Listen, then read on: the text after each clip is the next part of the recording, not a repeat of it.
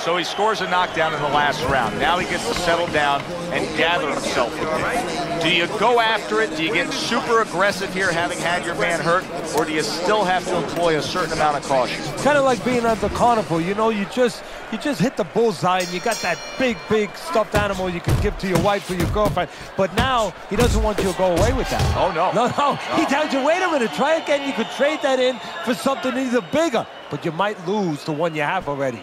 That's the question. Butterbean's getting himself into the mix now, landing that left hand. I like this. He's not skipping a beat.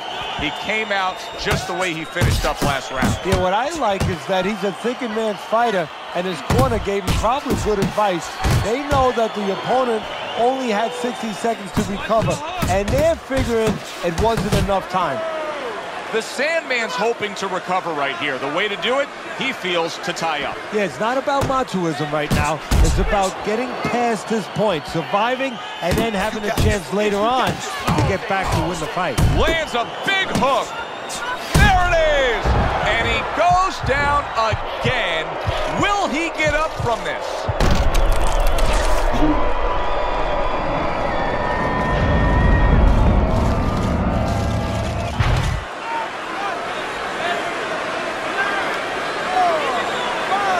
Burks is rising back up. That takes some guts. Wow, is he defensively sound.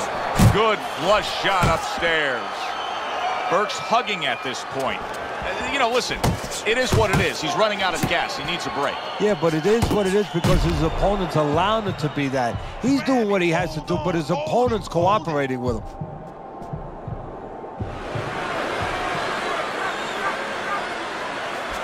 And now he brings the left hand upstairs. Burke's opponent is having a field day, Teddy. That left hand lands again. Well, he keeps moving the wrong direction. He needs to move away from that punch.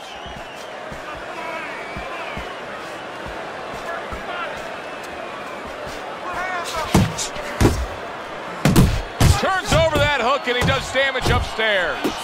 Boy, oh boy, that's tough to take.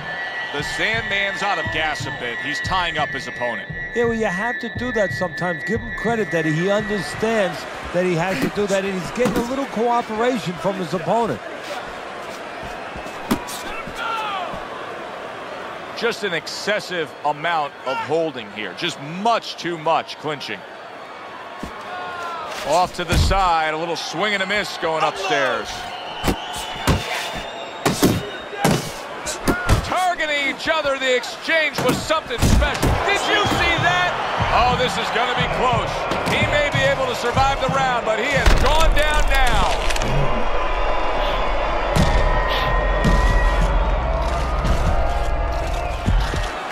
One, two, three, five. The ref is stopping this fight. The Sandman's unable to get up and continue on.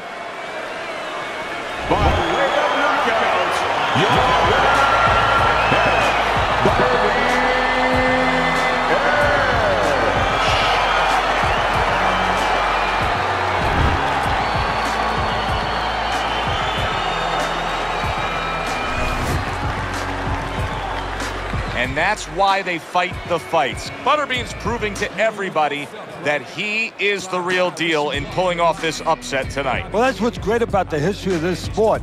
Yeah.